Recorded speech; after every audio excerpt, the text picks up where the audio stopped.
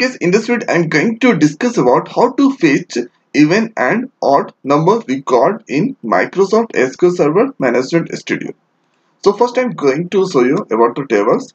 So add here use select a statement select a star from so my table is escort dot emp table. Now see the record inside emp table. So this is the record add here so in this EMP number, I'm going to load at here only even number of records. So for this, we have to use add here or select a star from EMP and here we need to filter the records. So where clause EMP number EMP number and here we need to use mod operator.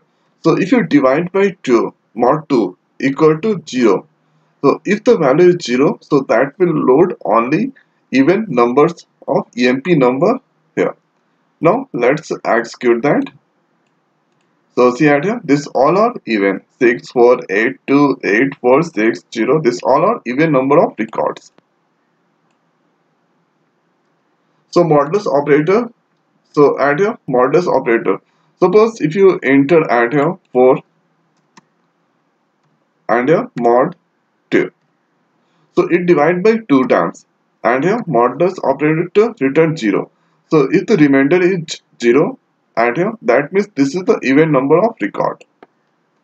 And suppose it returns something like remainder 1 so that will return odd number of records. So see here this is the EMP and here this is the query for even numbers. So see uh, 6 add here or 6x and a 5 4 this all are even. Now if you want to load only uh, odd number of records so let's copy that one and uh, paste it down. So in place of 0 you have to give add here 1 so this will load only odd number here.